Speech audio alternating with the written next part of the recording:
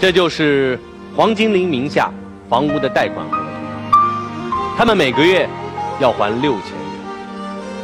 六千元，对于只打零工的家庭来说，确实是一个巨大的压力。从他们的家里便可以看得出来，一间不大的房子，基本上找不到一件像样的家具，就连衣服也都是团在纸箱子里。金玲说，他已经很久都没有买过新衣服了。这样困难的环境，他们过得好吗？我们看到，除了缺钱之外，这个小小的家，还真的挺温暖，挺幸福。那天，吴自华最幸福的时刻，就是忙了一天回到家中时，黄金玲早已做好了热乎的饭菜，等着他回来，一家三口一起吃饭。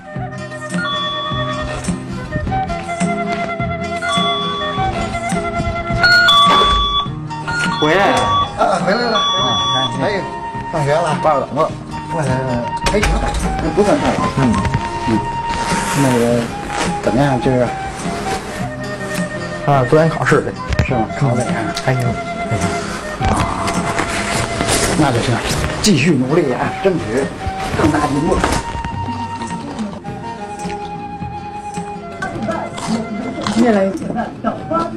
妈，你学校不是一班长交钱？你是不是交了三千块钱？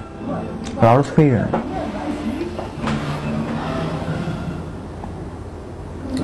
行，还有，你能不能一天多给点钱？你一天给给十块钱够谁花的呀？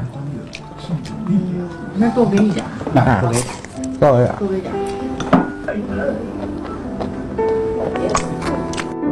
这个房子是贷款买的，每个月的还款额对于没有稳定工作的吴自华和黄金玲来说，都是一笔不小的开销。眼看这个月的最后还款期限就要到了，儿子的学费也要马上凑齐，这让黄金玲很着急。钱不够还怎么了？但是我家里这儿倒了霉了，你说一大姑娘给了你，你看连学费都交不起，交得起，交得起。这人家都交了，就差咱孩子了。多少交？为何吴自华会摔门而去？这位神情激动的老人又是何人？面对吴自华筹备的惊喜，黄金玲为何只是沉默以对？